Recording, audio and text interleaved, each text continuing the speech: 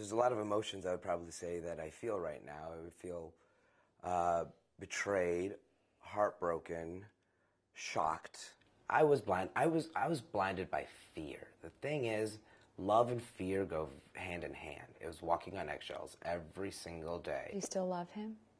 Um, I'll always love him. Yes, I love him. Um, what he's done to me is uh, unforgivable. It is the most conniving behavior I've ever seen anybody do, but that doesn't take away from the fact that I love him.